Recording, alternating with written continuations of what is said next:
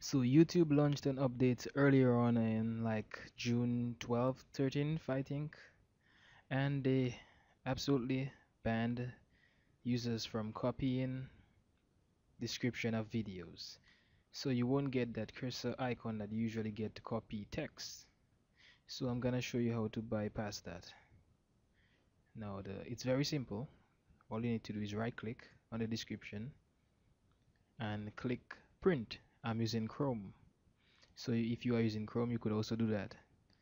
Once you have clicked print, the print window will open and from that you should be able to copy any text and paste it in any location you choose I'm gonna paste it in notepad and that's simply how you copy YouTube description thanks for watching